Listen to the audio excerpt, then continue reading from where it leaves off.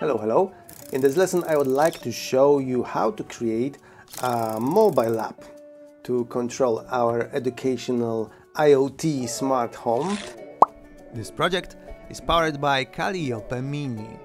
And I have two examples of this kind of apps, little apps created here. First one is a little dashboard I can connect on my phone over Bluetooth and uh, the app displays the light value detected by the smart home, the temperature. Uh, then I can control the air conditioning fan.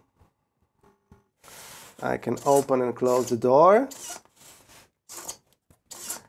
And I can also control the light inside my uh, smart home.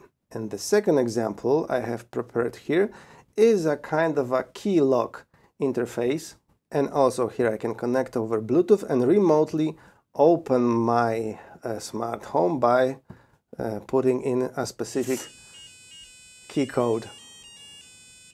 And I can also uh, close the door. But uh, it's not these apps that I really wanted to show. It's not that they are fancy and they do anything special. They are really basic just to show the capabilities of things we could do. And I hope that they only will uh, spark your imagination about what else we could do about them. But in this lesson, I would like to show you how to create such app. And for this, I will use nothing else than of course an AI chatbot. I will not code the app myself, but I will create it with an assist of an of ChatGPT and this method of coding is already has its name. It's called vibe coding and in a way I think it's a future of creating software uh, where we do not touch the code ourselves but everything is done by the AI and uh, you only as the creator tell the AI what you want to achieve you have to describe your project and AI chatbot does all the technical work for you. And my goal today is to make it as simple for you uh, to help you as much as I can to start with creating such apps. So we will take few shortcuts here. For example, I have already prepared here the template code for the Calliope Mini board, which will communicate with this um, app that we will create. And it's the same code that is already uploaded into the board. And what does it do? Uh, at first on start we open the Bluetooth UART service. This is the protocol in which we will communicate with the application. Then I set up the NeoPixel strip to start my light lights module. Then these blocks on Bluetooth connected and Bluetooth disconnected, they simply display images on the Calliope Mini LED display so we know that we achieved the connection.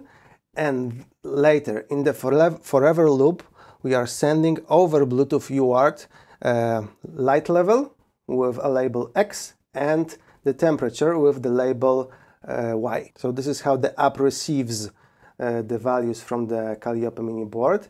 And here in this block on Bluetooth data received, process the data that the Calliope Mini board receives from the app. And these data are simple text comments. These are in fact just letters like X, Y, C, D. Of course you can name it however you want. I just chose this letter for uh, to make it really basic.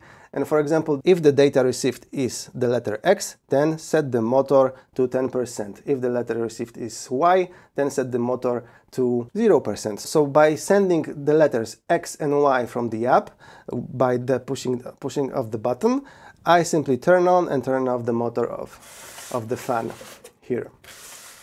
And next is C and D. They set servo to 70 and 175. They open and close the door, these letters. And then R, G, B, W, and off set the LED pixel to specific colors red, green, blue, white and black and the last thing was for the key lock uh, application if the data is the key code 1397 then open the door play the melody and uh, blink the, the lights and if the key code is 0000 then close the door and turn off the light so this is the example code, the template that you can use. Of course, you don't need all of that. You can remove parts that you feel you will be unnecessary for your project. And you can of course modify it any way you want, but I think it's a good place to start. You will find this code example on the project page. And one little caveat, I will get back to this at the end of the video because this is technical stuff. is that this project uh, uses specific library that allows us to control the NeoPixel modules and Bluetooth in the same time, which won't work with the standard version of Bluetooth library from the MakeCode. So if you want to use Bluetooth and NeoPixels, please start your work exactly from this example, open it from my web page and uh, make your code upon it because it uses a custom version of this NeoPixel library. Okay, so once you have this downloaded to the um, Mini, let's get to creating our app and this app will be a web application. And what it means exactly? Uh, in fact, it will be a simple web page opened in a web browser. So um, the only thing we need to create it is to create a basic HTML file. And I have already created a very basic template for you. I can open it in the Chrome browser. And here you see that it's just like a, a minimal, minimal setup. I can click the connect button and connect to the Calliope mini board. And with these two buttons, I can open and close the door.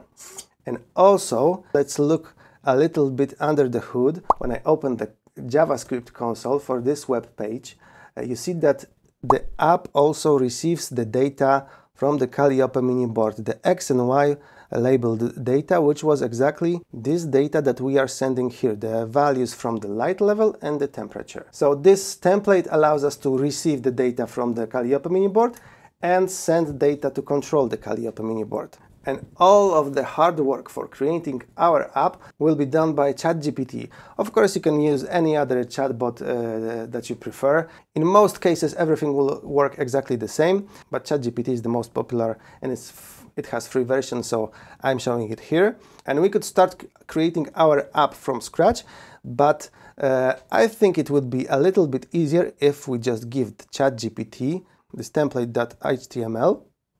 So I simply upload it as a button and I give him this prompt. Look at the template of my web app to control Kali Calliope mini board. Add another section to it to turn on and turn off the lights by sending commands W and off with two buttons. And hopefully he will create this code for us. And by the time he creates this code, I will do next thing. I need some kind of a code editor to render HTML uh, websites. And for this, I will use CodePen.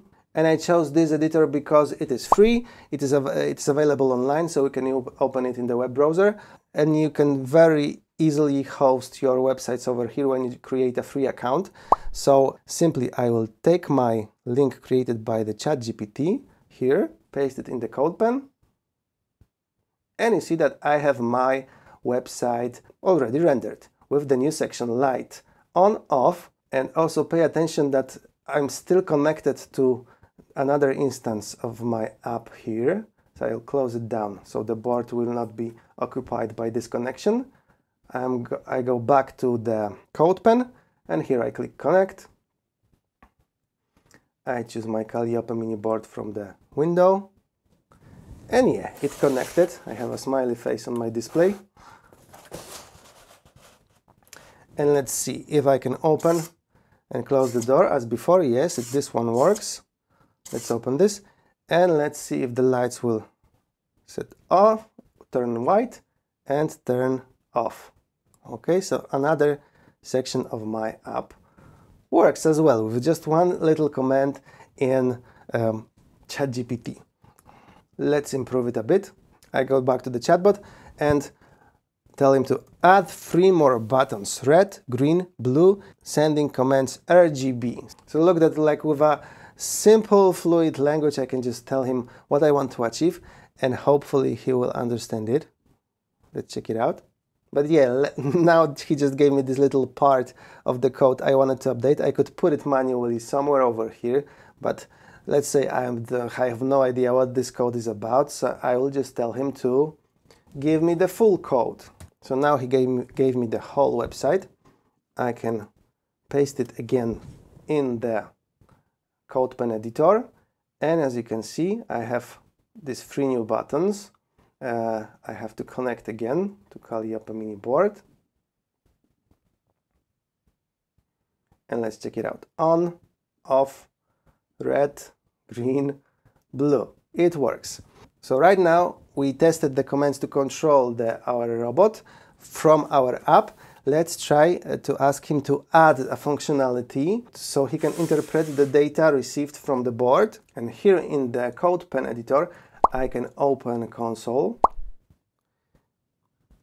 And as you can see, I have here the constant stream of data that the app receives from the board.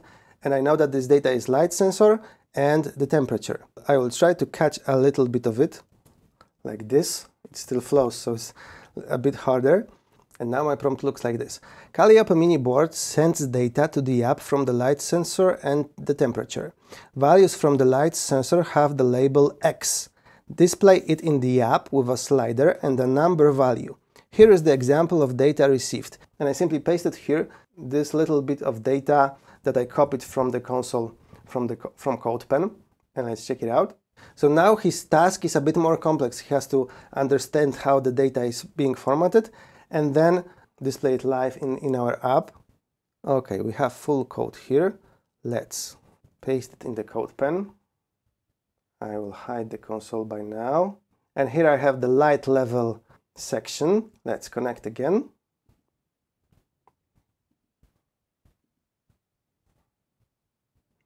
And as you can see, it works okay. When I cover the LED display, which works as a light sensor in the Calliope mini board, the value here changes accordingly. He even added this little sun emoji uh, for some visual aesthetics. Okay, so right now we were lucky and everything works quite seamlessly for us. Uh, maybe it's because I tested these prompts before I started recording this lesson. But if at any time you have any problems with what we are doing here, what's the code created by the chatbot and your app doesn't work, uh, what you can do is you can open the console in the CodePen editor and any error uh, generated by the code should appear here in this console. It might be hidden a little bit by all, all this data received from the application, but if you find the error command, you can simply paste it again to the chatbot and ask him what's wrong with this code, why doesn't it work, uh, try to fix it, and he should come up with a solution for this. And also, that is what, why coding with a chatbot uh, is so fantastic because it's not as basic like code generating machine, but this is more like a human interface where, where we can openly talk and ask anything about the project that we are creating and he will explain anything to us. So uh, it's more like working with a super smart friend who knows everything about coding and at any point he can explain anything uh, to us. And I think I will stop with this dashboard example uh, at this level. We already made uh, some small steps and I think you have an idea how to go forward from this and you can do whatever you want. But there is one nice feature in the CodePen editor I would like to show you is the fact that because uh, I am already logged in and I have created my project here, uh, so that my website is already uploaded online and I can access it from any other device. So if I save it and now switch to the full page uh, view, and now it's a very useful trick how to open this website on your smartphone, on your mobile device. I simply click uh, right, right mouse button anywhere on the web page and use this option. Open uh, create QR code connected with this website. And I have this QR code. I simply scan it with my smartphone. And now I have this uh, link scanned. So it's and I can open this app on my mobile device. And I have it previewed over here. And here I can simply click connect to the Calliope mini board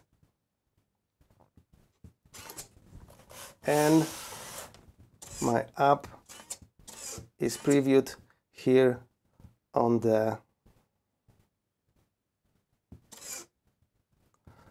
on my mobile device. Just remember to open the links in Chrome web browser or a mobile Opera. It won't work on Safari. On iOS you would have to open it in the Bluefy web browser.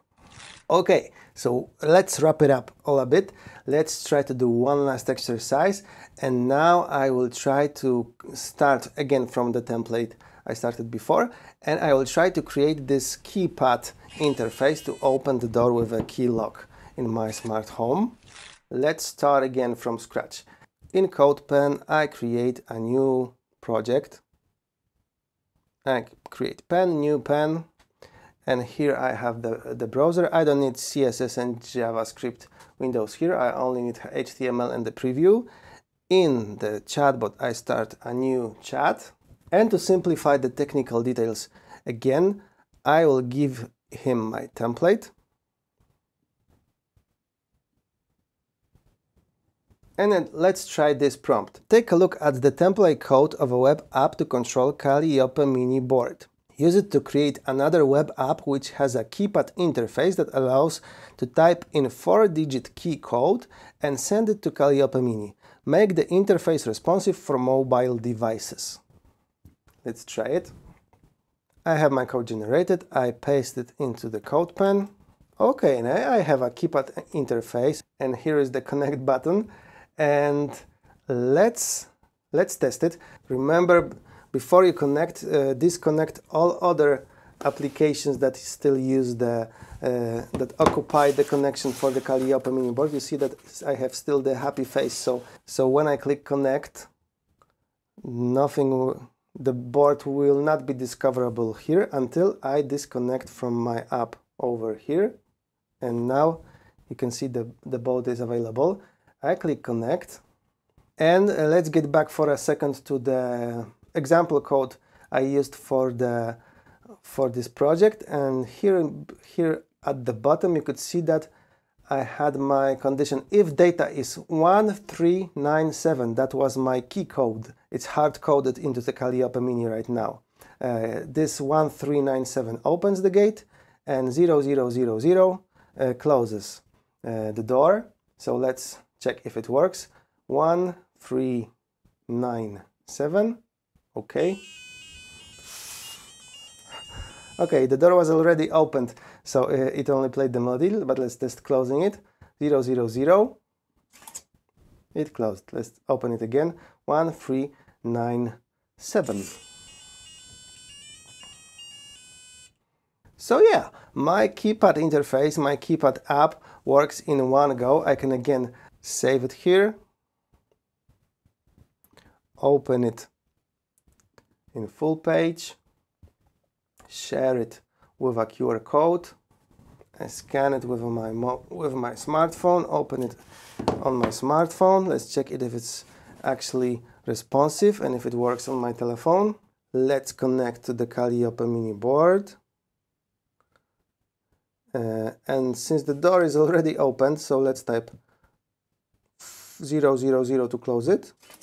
Okay, and it closes. 1, 3, 97 okay and it opens. So uh, the app works on my desktop it works on my mobile device and uh, I think it's a great start for some further exploration. What uh, mobile apps can you create with the help of an AI chatbot